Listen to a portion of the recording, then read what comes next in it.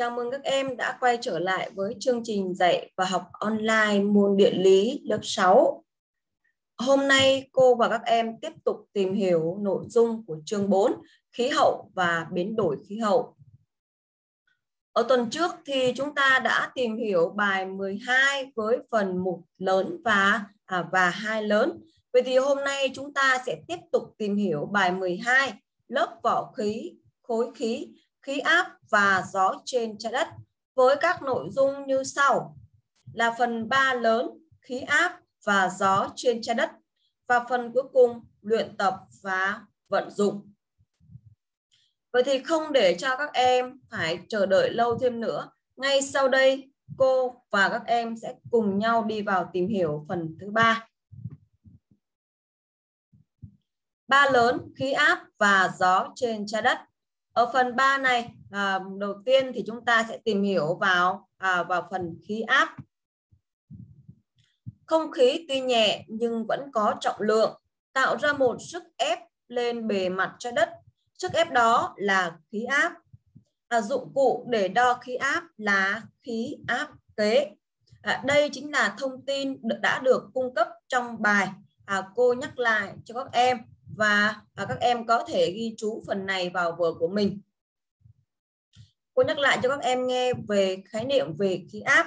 Không khí tuy nhẹ nhưng vẫn có trọng lượng tạo ra một sức ép lên bề mặt trái đất và sức ép đó người ta gọi là khí áp. Và dụng cụ để đo khí áp chính là khí áp kế. Rồi cô sẽ qua phần tiếp theo. Các em đang quan sát hình 12.4 và 12 à, 12.4A và hình 12.4B. Ở hình ở hình 12.4 này á, à, người ta đang giới thiệu cho mình về một số loại khí áp kế. Hình 12.4A đó là khí áp kế kim loại và hình 12.4B là hình khí áp kế điện tử. À, thông thường người ta dùng đơn vị mm thủy ngân à, hoặc milibar để đo khí áp và khí áp ở mặt mặt nước biển trung bình bằng 760 mm Hg tương ứng với 1031,1 milibar. Khí áp nhỏ hơn 1031,1 milibar là khí áp thấp và những nơi có khí áp lớn hơn 1031,1 milibar thì người ta gọi đó là là khí áp cao. Được chưa các em? Vậy thì các em hãy nhớ về phần nội dung này để khi chúng ta đi đến một à, địa điểm nào đó, một khu vực nào đó thì các em có thể xác định được à, nơi mình đang tới là nơi có khí áp thấp hay là khí áp cao. Bằng cách là gì ạ? À, là chúng ta sẽ à, mang theo các loại uh, khí áp kế như là kim loại hoặc là điện tử để chúng ta đo khí áp nơi chúng ta vừa đến được chưa nào? Và ở nơi nào à, khí áp kế nhỏ hơn 1031,1 milibar thì ở đó là khí áp thấp được chưa nào? Và nơi nào lớn hơn thì đó là khí áp cao. À, ngay sau đây thì chúng ta sẽ đi vào một ví dụ nho nhỏ. Dựa vào hình 12.4a và thông tin trong bài em hãy đọc trị số khí áp đang hiển thị trên khí áp kế kim loại và trị số là khí áp thấp hay là khí áp cao. Vậy thì đầu tiên các em hãy quan sát cho cô hình 12.4a khí áp kế kim loại. Ở đây đầu tiên các bạn quan sát thấy này, à, đơn vị của khí áp kế kim loại ở đây là 3 bờ A R. Đây. Và đây chính là đơn vị của khí áp kế kim loại này. Được chưa nào? Và công việc đầu tiên mình cần làm đó là phải đổi từ 13 thành milibar vậy thì 13 nó sẽ bằng 1000 milibar được chưa các em? À 13 bằng 1000 milibar là cái thứ nhất. Cái thứ hai này các em quan sát à, cái kim này nó đang chỉ ở mức một đúng không ạ? Một và một à, và một đường gạch này nữa. Vậy thì là để làm sao chúng ta biết được nó là một phẩy bao nhiêu? À vậy thì các em thấy này từ vị trí số 1 đến vị trí số 2 này à, à nó cách nhau người ta chia làm làm năm khoảng đúng không ạ? Và các bạn biết năm khoảng này à, mỗi khoảng có uh, khoảng cách là là hai vậy thì một cái đường gạch này sẽ có là khoảng cách là 0,2 các bạn nhé vậy thì ở đây chúng ta suy ra trị số trên khí áp kế kim loại là 1,23 được chưa nào? 1,23 vậy thì dựa theo quy luật ờ, chuyển đổi trên này 13 bằng 1000 milibar chúng ta có thể đổi ra như sau. 1,23 bằng 1200 milibar vậy thì 1200 mB này đã lớn hơn 1031,1 mB vậy thì chúng ta khẳng định à, khí áp kế kim loại này đang hiển thị là khí áp cao. Được chưa nào? Vậy thì à, vì khi mà chúng ta đổi từ 1,23 nó ra bằng 1200 mB thì nó đã lớn hơn con số mà người ta đã đưa ra để quyết định nó là áp cao hay là áp thấp.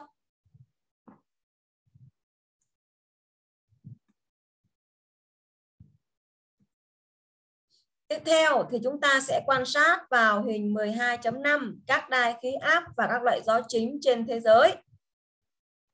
Thì các bạn thấy rằng trên bề mặt trái đất, các đai khí áp cao và khí áp thấp, nó phân bố xen kẽ với nhau từ xích đạo về hai cực và đây cũng là nội dung trong bài cô chỉ nhấn mạnh lại để cho các bạn biết phần nội dung các bạn cần phải ghi chú rồi và em quan sát ở hình 12.5 này các đài khí áp và các loại gió chính trên trái đất này ha.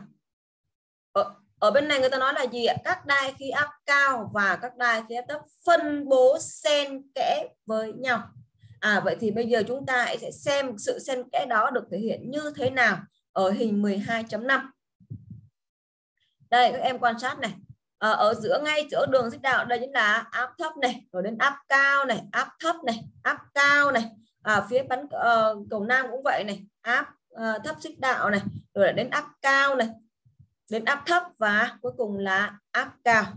À, vậy thì chúng ta khẳng định lại một lần nữa là các đài khí áp cao và khí áp thấp phân bố xen kẽ với nhau từ xích đạo về à, về hai cực.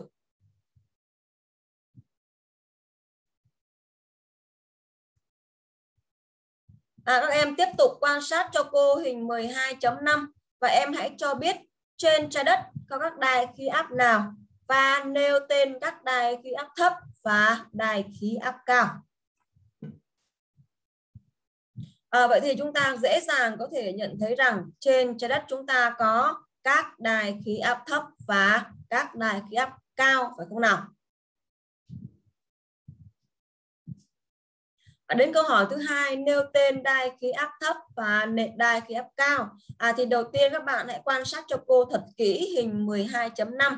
Người ta yêu cầu mình là nêu tên các đai khí áp thấp. Vậy thì các bạn hãy à, hãy tập trung quan sát vào những khu vực có màu xanh cho cô. Đây màu xanh này, màu xanh nhạt ở đây nha. À, vậy thì chúng ta thấy à đai khí áp cao đầu tiên đó là áp áp cao gì ạ? Áp cao cận trí tuyến. À phải không nào? Áp cao cận trí tuyến. Đây ha. Thì chúng ta có này áp cao cận trí tuyến uh, phía bắc này. À cận trí tuyến bắc và à, áp cao cận trí tuyến nam. Được chưa nào? Đây ha đây là hai áp cao này. À, rồi tiếp tục ở phía phần hai cực này chúng ta lại có gì ạ? Áp cao của à, của cực bắc và à, và cực nam. Đó là về phần áp cao tiếp theo là áp thấp. Áp thấp thì chúng ta sẽ có áp thấp xích đạo này. À, và hai bên này là áp thấp ôn đới. Được chưa nào? Vậy thì chúng ta sẽ khẳng định lại một lần nữa về các đài khí áp thấp. Đó là gồm có áp thấp xích đạo với vĩ độ là à, với à, là không độ và áp thấp ôn đới với vị trí là 60 độ bắc và 60 độ nam tiếp theo là áp cao. Các đáy áp cao ở đây mình có này, áp cao trí tuyến. Đây, chính là trí tuyến ha. Và ở nơi cô đang di chuyển con chuột này, đang ừ, đánh dấu vị trí cho các bạn. Đây là áp cao chí tuyến 30 độ Bắc. Và bên dưới này là áp cao chí tuyến 30 độ Nam. Được chưa nào? Và ở hai cực này mình có áp cao cực, đó là áp cao cực 90 độ Bắc và áp cao cực à 90 độ Nam vậy thì à, à, chúng ta có thể khẳng định lại một lần nữa trên trái đất của chúng ta có 3 đai áp thấp và 4 đai áp cao. Được chưa nào? Các em à, ghi chú vào vở nha. Chúng ta có 3 đai áp thấp và 4 đai áp cao. Áp thấp gồm có áp thấp xích đào ở vị, vị trí là 0 độ, áp thấp ôn đới ở vị trí 60 độ Bắc và 60 độ Nam. À, các đai khí áp cao thì gồm có áp cao chi tuyến 30 độ Bắc và 30 độ Nam. Áp cao cực thì gồm có 90 độ Bắc và 90 độ Nam.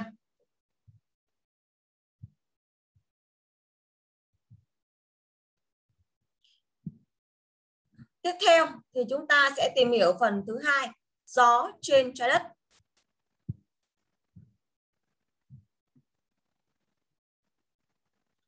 Không khí luôn chuyển động từ nơi khí áp cao về nơi khí áp thấp. Sự chuyển động ấy sinh ra gió. Gió mậu dịch, gió tây ôn đới và gió đông cực là ba loại gió thổi thường xuyên trên trái đất. Do ảnh hưởng của cực Coriolis, hướng của ba loại gió này à, hơi lệch về phía bên phải ở bán cầu Bắc và hơi lệch về phía bên trái ở bán cầu Nam. À, các em quan sát hình 12.5 này. Đây là các loại gió chính và các đài khí áp này. À, các đài khí áp thì lúc nãy mình đã tìm hiểu rồi ha. Vậy thì bây giờ à, chúng ta sẽ tìm hiểu về à, các loại gió chính trên à, trên trái đất. Ở phần nội dung này à, cô ghi chú cho các bạn rất là rõ chúng ta có ba loại gió chính đó là mậu dịch, tây ôn đới và đông cực. À, em nhớ điều này nhé. Rồi bây giờ cô sẽ có một câu hỏi nhỏ nhỏ như sau. Các em hãy dựa vào hình 12.5 và kể tên các loại gió chính trên trái đất. Trình bày phạm vi hoạt động, hướng thổi của gió Tây ôn đới và gió mậu dịch. À, như cô vừa trình bày cho các em về uh, về các loại gió chính trên trái đất á, thì chúng ta sẽ uh, rút ra một kết luận như sau. Các loại gió chính trên trái đất thì gồm có gió mậu dịch, gió tây ôn đới và à, và gió đông cực. À, các em quan sát này. Mậu dịch này, tây ôn đới này, à, đông cực này. Vậy đây chính là ba loại gió thổi thường xuyên trên trái đất. À, câu hỏi thứ hai, à, trình bày phạm vi hoạt động hướng thổi của gió tây ôn đới và gió mậu dịch. Vậy thì đối với câu hỏi nặng câu hỏi này á, cô sẽ có thống kê à, thành một cái bảng như vậy cho các em dễ dàng quan sát hơn nha. Ở đây cô có gió tín phong và gió tây ôn đới. À, về phần phạm vi hoạt động, gió tín phong từ áp cao cận chi tuyến về áp thấp xích đạo. À, các em quan sát lại cho cô hình 12.5 này. Chúng ta sẽ qua nhìn thấy này à, phạm vi hoạt động của gió tiến phong đầu tiên này. À, à, gió tiến phong hay còn gọi là gió gì các bạn là à, à đúng rồi là gió mậu dịch ha hai loại gió này là một được chưa nào tiến phong và mậu dịch là một loại nó chỉ khác nhau về tên gọi thôi đây gió mậu dịch gió mậu dịch. Vậy thì các em thấy này gió mậu dịch này nó thổi từ áp cao cận chí tuyến bắc và nam về áp thấp xích đạo. Đây là quy luật của uh, gió thổi được chưa nào? Gió thì sẽ thổi từ khu vực uh, uh, áp cao về áp thấp rồi. Và ở đây mình có uh, áp cao cận chí tuyến được chưa nào? à chúng ta có áp cao cận trí tuyến nam này áp cao cận trí tuyến bắc này được chưa nào? Và mình gọi chung lại là từ áp cao cận trí tuyến về áp thấp xích đạo. Vậy đây chính là phạm vi hoạt động của gió tín phong hay còn gọi là à, gió mậu dịch.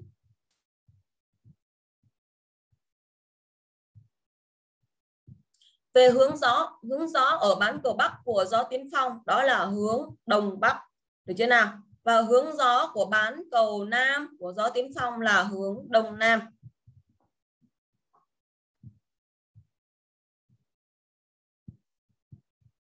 Loại gió thứ hai là gió tây ôn đới.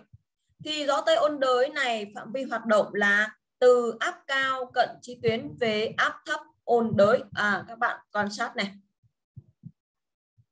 cũng tương tự như gió tiến phong và gió đông cực vậy. Gió tây ôn đới nó cũng thổi từ áp cao về áp thấp.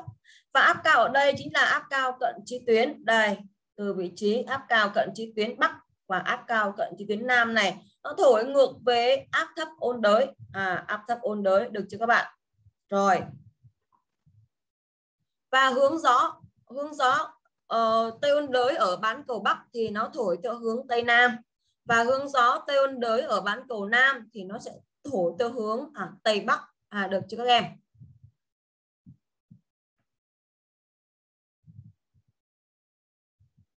Còn lại gió đông cực à, vì sao chúng ta lại không tìm hiểu về phạm vi hoạt động cũng như là hướng gió của bán à, của gió, gió đông cực? Tại vì thật ra thì à, nếu như tính về Ờ, các loại gió ảnh hưởng trực tiếp và có tác động nhiều đến đời sống của con người và sinh vật ấy, à, thì chúng ta chỉ à, tìm hiểu kỹ hơn về hai loại tím phong và tây ợn và tây ôn đới thôi.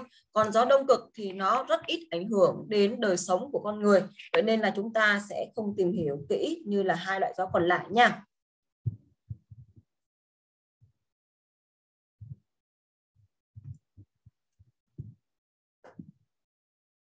À, các bạn các, các bạn tiếp tục tìm hiểu về phần à, gió trên trái đất á, thì cô sẽ cung cấp cho các em. À, vì sao lại có tên gọi là gió mậu dịch hay còn gọi là tín phong ha? Vào khoảng thế kỷ 15 thương nhân hai nước Bồ Đào Nha và Tây Ban Nha cần phải tìm ra một con đường để đến châu Á bằng đường biển. Qua nhiều chuyến đi biển họ được những loại gió thổi thường xuyên đưa rời đưa thuyền rời khỏi châu Âu đến châu Phi xa hơn là châu Á và sau đó quay trở về. Họ gọi chúng là gió chỉ đường.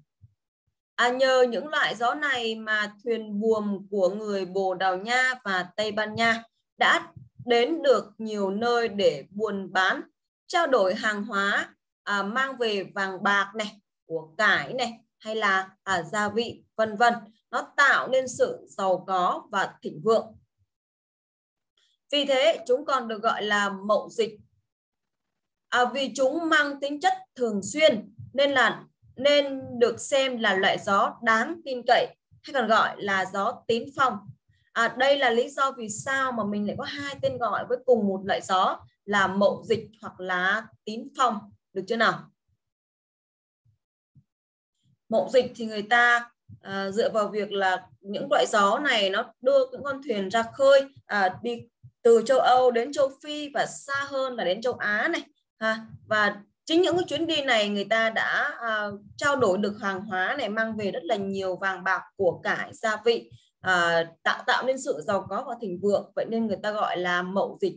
Chưa nào? Dịch là giao dịch các bạn rồi còn gió tím phong. Nó tạo nên sự tin cậy và nó mang tính chất là thổi thường xuyên nên người ta gọi là tín phong. À, chúng ta có thể sử dụng à, một trong hai tên gọi này đều được.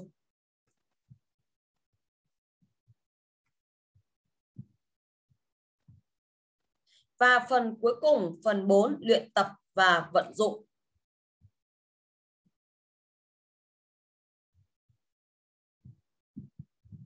Luyện tập. Một là em hãy cho biết tầng khí quyển nào ảnh hưởng nhất đến sự sống trên trái đất và vì sao. Hai là dựa vào hình 12.5. Em hãy xác định hướng thổi của gió đông cực ở hai bán cầu.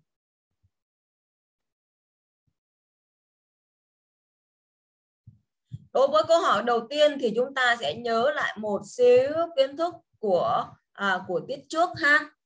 Em hãy cho biết tầng khí quyển nào ảnh hưởng nhiều nhất đến sự sống của trên trái đất vì sao? Vậy thì chúng ta sẽ trả lời tầng khí quyển ảnh hưởng nhiều nhất đến sự sống trên trái đất đó là tầng đối lưu. Được, được chưa nào? À, tầng đối lưu ảnh hưởng nhiều nhất đến sự sống trên trái đất vì đây là tầng sát mặt đất. Nó tập trung 90% không khí. Nó là nơi sinh ra các hiện tượng khí tượng và ảnh hưởng trực tiếp đến con người và sinh vật trên trái đất. Được chưa nào? À, tiếp tục thì chúng ta sẽ đi vào giải quyết phần luyện tập câu thứ hai. À, dựa vào hình 12.5 em hãy xác định hướng thổi của gió đông cực ở hai bán cầu. Ở trong phần bài học á, thì cô và các em đã à, xác định được hướng thổi của à, gió gì ạ? À, gió mậu dịch và gió tây ôn đới rồi, phải không nào? Vậy thì bây giờ còn gió đông cực ở hai bán cầu nữa thôi. À, đó là à, cực Bắc này và cực Nam này. Thì ngay sau đây chúng ta sẽ cùng xác định nha. À, hướng thổi của gió đông cực ở hai bán cầu. Ở bán cầu Bắc đó là à, thổi theo hướng Đông Bắc. Còn ở bán cầu Nam là thổi theo hướng à, Đông Nam. Được chưa nào? Và phần cuối cùng của bài ngày hôm nay, à, các em hãy tìm hiểu và cho biết lãnh thổ Việt Nam nằm trong phạm vi hoạt động của loại gió nào. Ha. Rồi, vậy là bài hôm nay của cô đến đây là hết rồi. À, hy vọng rằng các em sẽ thích thú với tiết học ngày hôm nay. À, chào tạm biệt và hẹn gặp lại các em vào tiết học tuần sau.